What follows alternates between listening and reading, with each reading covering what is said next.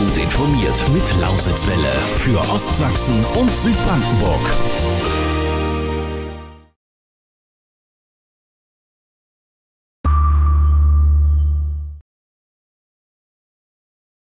Die Operngala in Doberlug-Kirchhain mit Weltstar Rolando Villasson und dem Brandenburgischen Staatsorchester Frankfurt. Am 22. Juni auf der Schlosswiese in Doberlug. Ein Erlebnis mit klassischen Opernhits von Mozart bis Verdi und Ohrwürmern der Operette und mit einem Feuerwerksspektakel der Sonderklasse. Jetzt schon Karten sichern. Online über spk-elbe-elster.de slash Ticketshop.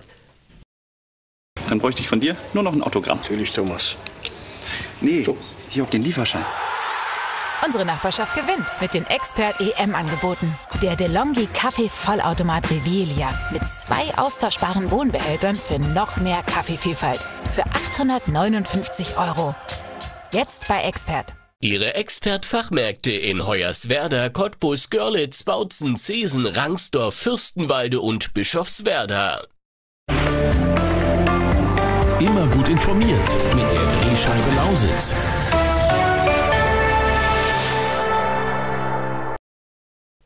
Hallo und herzlich willkommen zur Drehscheibe Lausitz am Mittwoch, dem 15. Mai. Ich freue mich, dass Sie wieder die Lausitzwelle eingeschaltet haben. Machen Sie sich einstiegs jetzt bereit auf eine aufregende Reise an Bord des Motorschiffs Amerika.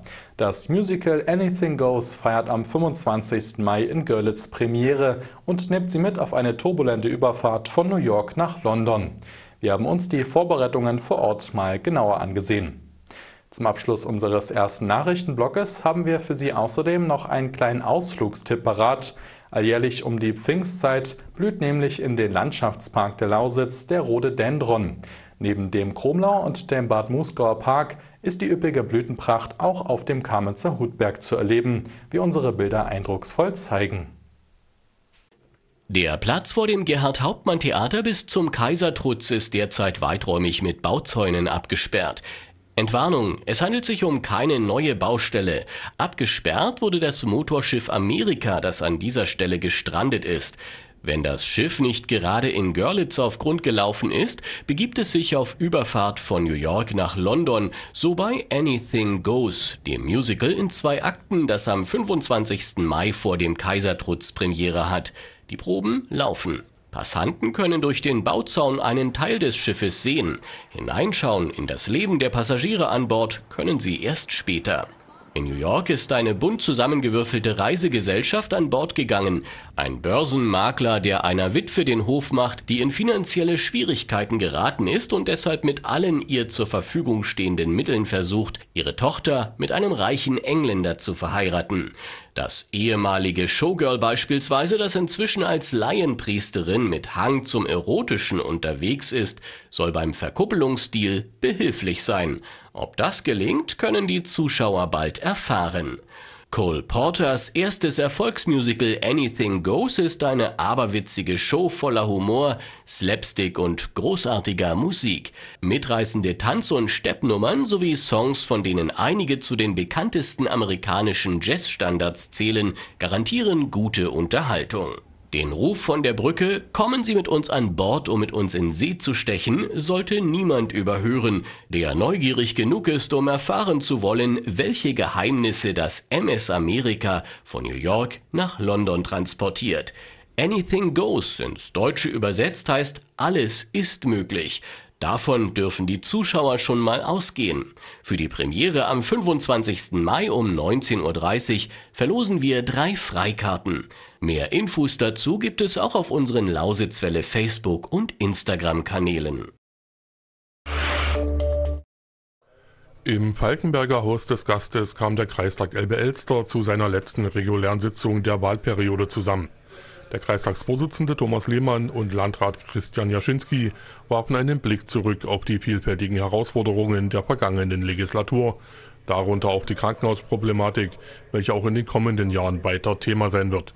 Das aktuell vorgelegte Konzept zur Entwicklung am Standort Finsterwalde setzt auf die Etablierung eines Gesundheitszentrums, das bedarfsgerechte medizinische Angebote für die Bevölkerung vor Ort unter einem Dach bündelt.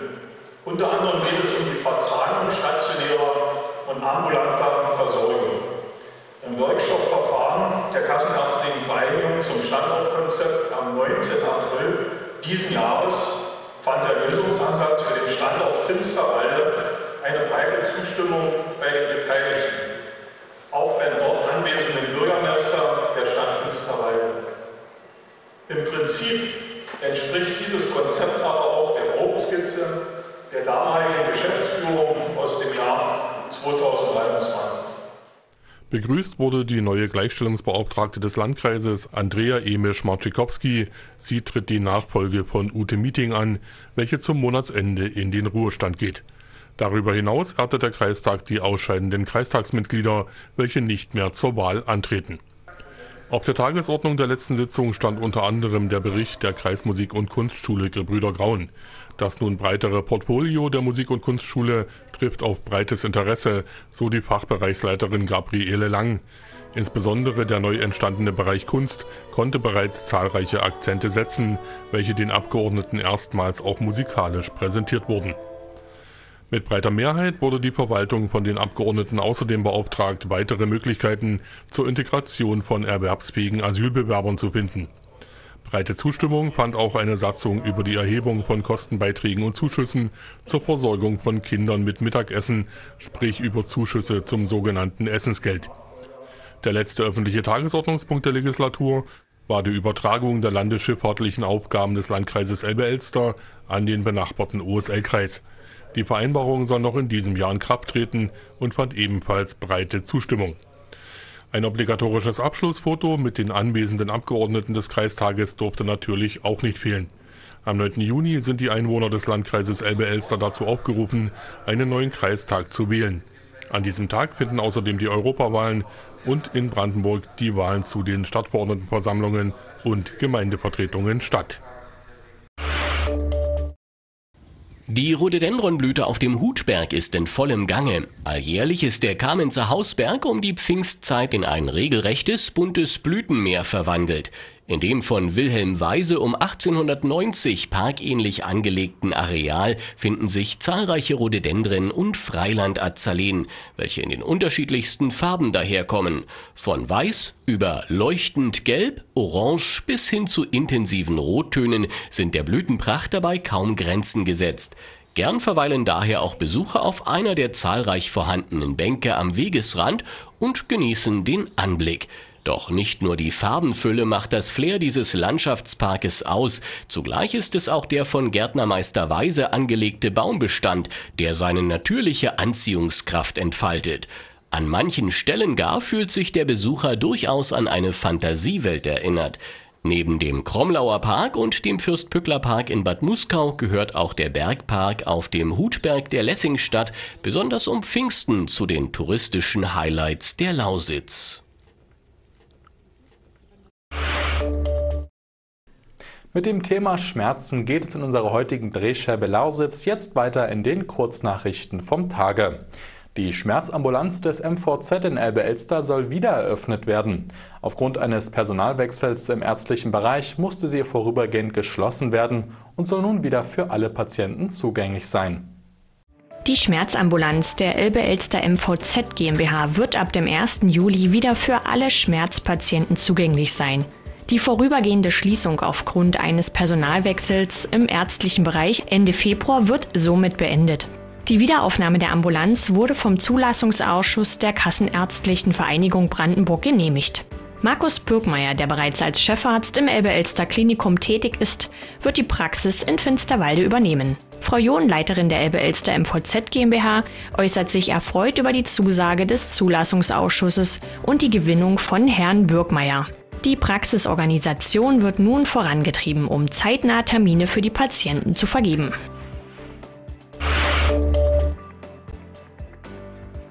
Im Juli 2022 trat das bundesweite Mietspiegelreformgesetz in Kraft, das Städte mit über 50.000 Einwohnern zur Erstellung von Mietspiegeln verpflichtet.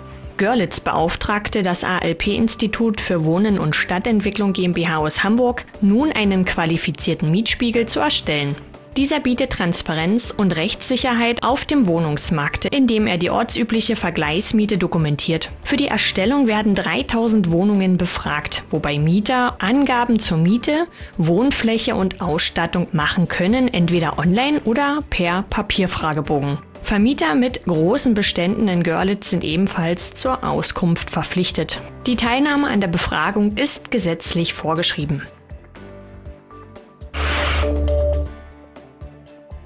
In Panschwitz-Kuckau an der Startstraße 100 wird wieder geblitzt. In den letzten Tagen wurde die im Mai 2023 gesprengte Geschwindigkeitsmessanlage durch eine neue und moderne Nachfolgerin ersetzt. Sie steht auf der anderen nördlichen Straßenseite und kann in beide Richtungen blitzen.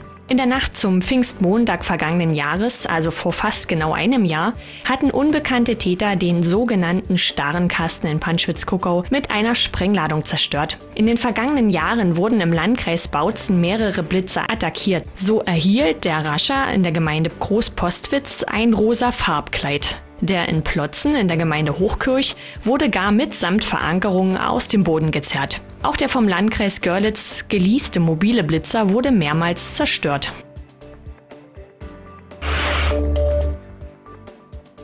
Die Grundschule Mitten-Radeberg hat ein Platzproblem, aber eine Lösung steht bevor. Nach einem Abstimmungstermin zwischen verschiedenen Beteiligten und einem Stadtratsbeschluss soll der Speiseraum erweitert werden, sowie weitere Räume entstehen. Ursprünglich geplante Baukosten von 1,6 Millionen Euro könnten steigen, da eine Baugrunduntersuchung zusätzlichen Aufwand ergab. Während der Baumaßnahmen wird ein temporärer Container für die Schulspeisung genutzt, der jedoch größer ausfallen muss als geplant. Die genauen Schülerzahlen sind noch nicht bekannt, aber die Anmeldezahlen beim Hort sind gestiegen. Der Baubeginn wird sich aufgrund von Genehmigungsverzögerungen verzögern und beginnt nicht wie geplant in den Sommerferien. Die gesamte Bauzeit wird auf etwa ein Jahr geschätzt, mit dem Ziel einer geordneten und bestmöglichen Bauphase. Die Sorben nehmen durch die Domowina an der Europida 2024 teil der Fußball-Europameisterschaft der sprachlichen Minderheiten. Zwei Teams, männlich und weiblich, vertreten sie vom 29. Juni bis zum 7. Juli in Deutschland und Dänemark. Gastgeber sind Sinti und Roma in Schleswig-Holstein, die Friesen, die deutsche Minderheit in Dänemark und die dänische Minderheit in Deutschland. 35 Teams spielen in 14 Stadien organisiert von der FOEV und lokalen Veranstaltern mit einem umfangreichen Rahmenprogramm. Die Europida betont Werte wie Toleranz, Vielfalt und Respekt und stärkt die Sichtbarkeit von Minderheiten und ihre Identität. Das Motto lautet, gemeinsam sind wir einzigartig. Clemens Goda, Leiter der sorbischen Delegation, hofft auf den Einzug ins Finale und eine positive Stimmung bei den Fans und in der Lausitz.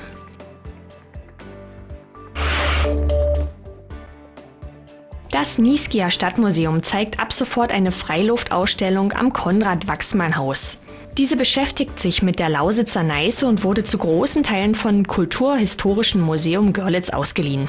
Der heutige Nieskia Museumsdirektor Jan Bergmann Alswede war während seiner Zeit am Görlitzer Museum 2019-2020 maßgeblich am Entstehen der Ausstellung beteiligt, wie Citymanager André Schulze mitteilt. Diese ist beim Tag des offenen Denkmals im September im Garten des Konrad-Wachsmann-Hauses aufgebaut und kostenlos zu sehen.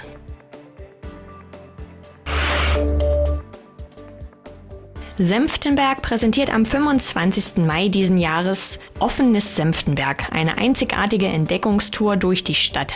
Rund 90 Geschäfte und Unternehmen öffnen ihre Türen für Besucher, die auf sechs verschiedenen thematischen Touren die Stadt erkunden können. Von kulturellen Highlights bis hin zu kulinarischen Genüssen ist für jeden etwas dabei. Der Tag verspricht spannende Aktivitäten wie die Besteigung des Rathausturms, die Eröffnung eines neuen Trinkwasserbrunnens und ein kleines Fußballturnier für Kinder. Auch das Wissenschaftsmobil und der Science Slam an der Universität bieten seltene Einblicke. Das Projekt wird durch das Bundesministerium für Wohnen, Stadtentwicklung und Bauwesen finanziert und von den Organisatoren Vido Wild und Pop-Projekt koordiniert.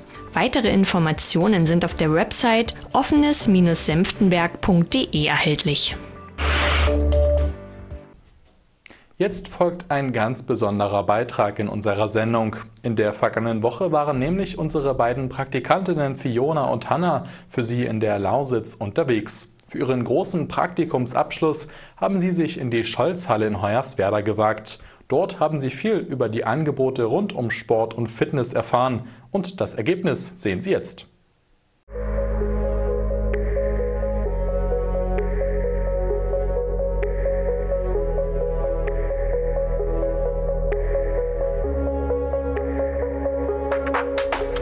Wir waren zu Besuch in der Scholzhalle, einem Fitness- und Gesundheitsstudio, welches am Rand von Hoyerswerda liegt. Dazu haben wir unseren Trainer Devin interviewt. Woher kommt der Name Scholzhalle? Scholzhalle, der Name kommt äh, von früher noch aus der DDR, die Alfred-Scholz-Halle, so hieß das hier früher noch, wo hier Kulturveranstaltungen von Boxkämpfen über Konzerte, Jugendwein vor allen Dingen stattgefunden haben. Und gerade viele der älteren Mitglieder erzählen noch oft davon, wie sie halt früher hier die Räumlichkeiten genutzt haben, wo die Garderoben waren und so weiter. Was bieten Sie hier für Kurse an? Kurse haben wir sehr viel verschiedene, also von Power wie zum Beispiel Zumba, ähm, Latino Dance, Spinning und so, also Indoor Cycling, ähm, bis hin zur Schule, was halt so die häufigsten Kurse halt einfach sind, gerade weil das halt auch von der Kasse mit unterstützt wird. Gibt es bis jetzt schon Pläne für die Zukunft? Pläne für die Zukunft gibt es immer viele. Ne? Muss ja immer vorangehen, immer weitergehen. Ja, gerade was jetzt so Gestaltung oder Innovation angeht. Ne? Jetzt auch zum Beispiel die elektronischen Geräte, die sich ähm, komplett von alleine einstellen, wo man nur noch seinen Chip dran hält. Und dann sind halt die ganzen Trainingsdaten gespeichert. Lebenssitzhöhe, welches, mit welchem Gewicht habe ich trainiert, wie oft soll ich das Ganze machen, in welcher Intensität äh, beziehungsweise in welcher Geschwindigkeit mache ich das Ganze richtig. Das sind ja einfach so, wo dann eben die Technik, die moderne oder Innovation halt auch beim äh, im Fitnesssektor Einzug. Was ist Ihr schönster Moment in Verbindung mit der Scholzhalle? Boah, das ist äh, eine sehr schöne Frage. Also ich sag mal, es sind immer so die Sachen, ähm, man begleitet ja, sage ich mal, die Erfolgsgeschichten der Menschen oder man begleitet ja den äh, Entwicklungsprozess vieler Menschen mit. Und da sind das halt so Sachen wie gerade, wenn ich jetzt an äh, unser Ehrenmitglied Marcel denke, wie der halt in sechs, sieben Monaten 30 Kilo abgenommen hat und wir zusammen dann zum Fitnesswettkampf, dem sogenannten High Rocks gefahren sind, dann ist das schon einfach das Schönste zu sehen, wie man halt andere Menschen begleitet, wie die dann halt sich wohler fühlen, besser fühlen und halt einfach plötzlich auch ein ganz anderes Leben leben können.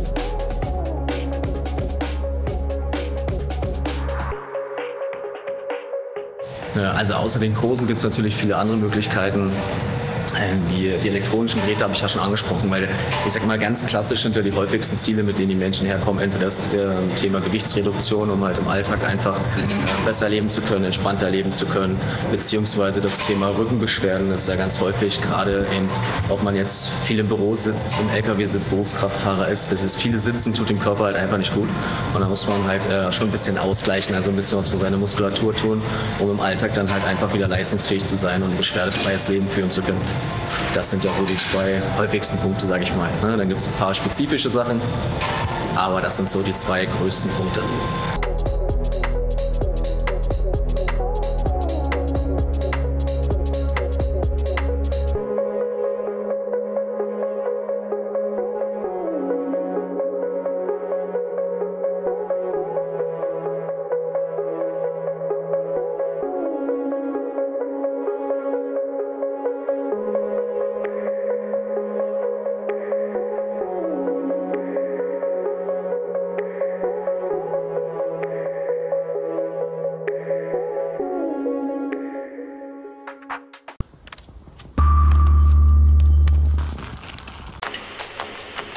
Na, TV-Umstellung verpasst?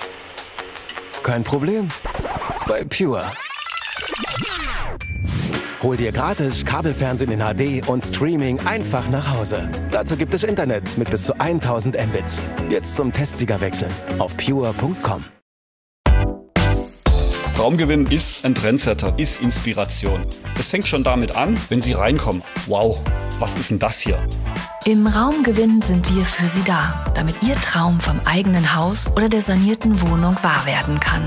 Unsere Kunden sagen, wir brauchen jemanden, der uns an die Hand nimmt und die ganze Sache für uns stressfrei gestaltet. Eben aus einer Hand, lass uns das gemeinsam angehen. Besuchen Sie uns in Dresden, Gerockstraße. Willkommen zurück. Jetzt geht es weiter mit den Nachrichten von Polizei und Feuerwehren im Sendegebiet in unseren aktuellen Blaulichtmeldungen. Bereits am Montag kam es zu einem schweren Verkehrsunfall mit einer Jugendlichen in Neusalza-Spremberg. Die Polizei sucht jetzt nach Zeugen des Geschehens.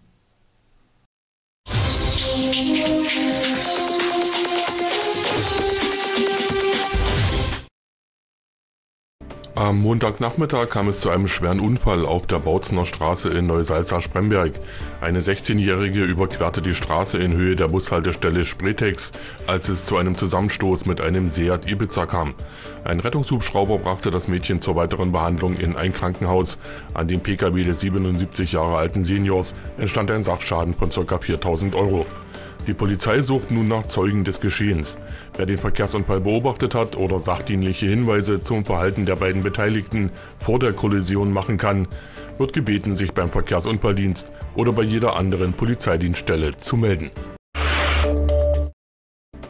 Eine Streife des Borzener Reviers hat am Montagabend einen Mopedfahrer an der dortigen Töpferstraße kontrolliert.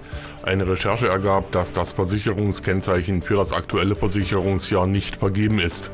Nach Überprüfung stellte sich außerdem heraus, dass der 61-Jährige zwei Roller besitzt und die Kennzeichen offenbar ausgetauscht hatte. Des Weiteren stand der Deutsche unter der Einwirkung alkoholischer Getränke. Der Alkomat zeigte umgerechnet 1,06 Promille an. Damit erhielt der Ertappte zwei Anzeigen wegen Urkundenfälschung und Verstoßes gegen die 0,5 Promille Grenze. Am Montagmorgen ereignete sich auf der A4 zwischen Pulsnitz und Ottendorf-Okrilla ein Verkehrsunfall, der zu einem 5 Kilometer langen Rückstau führte. Ein 19-jähriger Fahrer eines Kleintransporters fuhr aus bislang unbekannten Gründen auf den verkehrsbedingt haltenden Suzuki eines 77-Jährigen auf. Ein Rettungsdienst brachte den Senior in ein Krankenhaus. Die freiwilligen Feuerwehren aus Leppersdorf und Wachau waren mit drei Fahrzeugen und 17 Kameraden vor Ort. Der Sachschaden belief sich auf ca. 6000 Euro. In der Nacht auf Dienstag haben Unbekannte drei Wahlplakate an den Schiller-Anlagen in Bautzen angezündet. Kameraden der Berufsfeuerwehr Bautzen rückten aus und löschten die Brände. Aufgrund des Feuers wurden zwei Laternen in Mitleidenschaft gezogen. Der Schaden belief sich auf ungefähr 460 Euro. Eine Streife sicherte Spuren. Die Ermittlungen übernahm der Staatsschutz. Während einer Streifenfahrt ist Beamten in der Nacht zu Dienstag zwischen der Ortsverbindung Litten in Richtung Purschwitz ein Radfahrer mit unsicherer Fahrweise aufgefallen. Ein Atemalkoholtest bei dem 38-Jährigen ergab einen Wert von umgerechnet 1,64 Promille. Weiterhin fanden die Polizisten bei dem Deutschen ein Springermesser. Auch sein Personalausweis war seit 2022 abgelaufen. Für den Radfahrer ging es zur Blutentnahme. Die Uniformierten beschlagnahmten das Messer. Der Mann erhielt Anzeigen wegen Trunkenheit im Verkehr und Verstoßes gegen das Waffengesetz. Und an dieser Stelle gehen wir wieder auf Zeitreise. Im Lausitzwelle Kalenderblatt schauen wir heute auf den Tag genau 58 Jahre zurück in die Vergangenheit. Damals endete die Ära der Kohleförderung im Tagebau Niemtsch, dem heutigen Senftenberger See. Das Lausitzwelle Kalenderblatt. Am 15. Mai 1966 verließ der letzte Kohlezug den Tagebau Niemsch. 1940 war der Entwässerungsschacht, damals noch von der Ilse Bergbau geteuft worden. Die erste Kohle verließ am 6. Mai 1941 die Grube. Am 20. April 1944 wurde die Umformerstation durch Beschuss zerstört, die Pumpen fielen ohne den Strom aus, der Tagebau soff sozusagen ab. Erst im Sommer 1947 konnte wieder angefahren werden. Die Idee zur Nachnutzung wurde vom Landschaftsplaner Otto Rindt entwickelt. Auf seine Anregung hin wurde der Förderbrückenverband vor seiner Stilllegung noch zur Gestaltung des Strandbereichs Großkoschen genutzt. Am 15. November 1967 wurde mit der Flutung des Senftenberger Sees aus der Schwarzen Elster begonnen und 1973 das Naherholungsgebiet eröffnet. Das Lausitzwelle Kalenderblatt. Unsere aktuellen Veranstaltungstipps folgen gleich für Sie. Zuvor wagen wir aber auch heute wieder sozusagen einen Blick in die Zukunft mit unserem Wetterbericht. Bis gleich.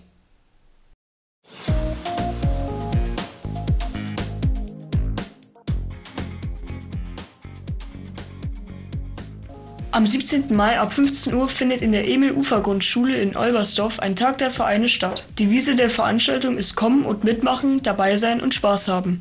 Dieser Tag soll den Besuchern die Möglichkeit geben, die ansässigen Vereine kennenzulernen, Sachen auszuprobieren und ins Gespräch zu kommen. Das alles findet in Verbindung mit einem Trödelmarkt statt. Haben Sie am Pfingsten noch nichts vor? Dann erwartet Sie Musik, Gesang und Oberländer Blasmusik. Am Pfingstmontag wird Ihnen ein buntes Programm auf der Sängerwiese am Hofeberg in Spitzkunnersdorf geboten. Der Eintritt ist frei und warme Speisen sowie Getränke werden reichlich angeboten. Gönnen Sie sich in diesem Jahr ein actiongeladenes Event, bei dem Adrenalin, Highspeed und jede Menge Spaß garantiert nicht auf der Strecke bleiben. Auf dem Lausitzring fährt am 24.05. und 25.05. die Deutsche Turnmeisterschaft jedes Jahr um die Meisterschaftspunkte. Tickets, Tages- sowie Wochenendtickets sind bereits erhältlich.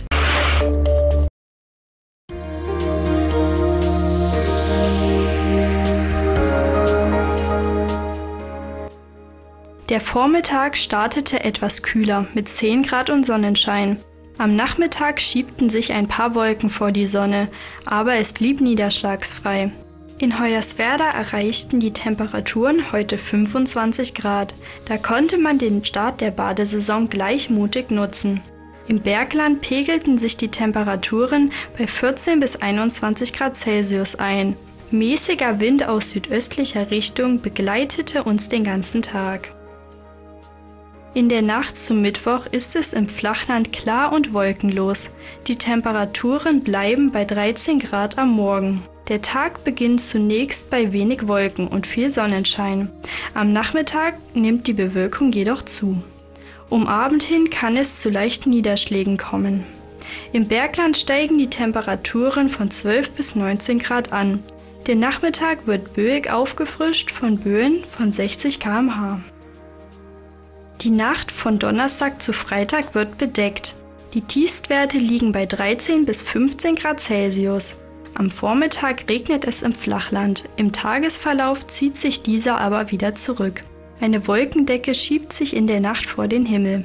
Am Samstag gibt es überwiegend erst einmal Wolken. Die Sonne ist dann im Tagesverlauf aber mehr und mehr zu sehen und es werden angenehme 23 Grad. Der Abend ist wolkenlos, also kann man die Sterne perfekt sehen. Und das war sie schon wieder. Wir sind soweit durch und am Ende der Sendung angelangt. Die nächste Drehscheibe Lausitz gibt es dann morgen wieder ab 18 Uhr im Lausitzwelle Fernsehen und ab 18.30 Uhr sehen Sie alles noch einmal auf Sachsen 1 per Satellit. Hier folgt jetzt die Regionalzeit für die Westlausitz mit meinem Kollegen Ingo Schleiernick. Ihn kennen die ein oder anderen von Ihnen sicher aus dem Lausitzwelle Radio. Ich wünsche Ihnen einen schönen Abend. Bis morgen. Auf Wiedersehen.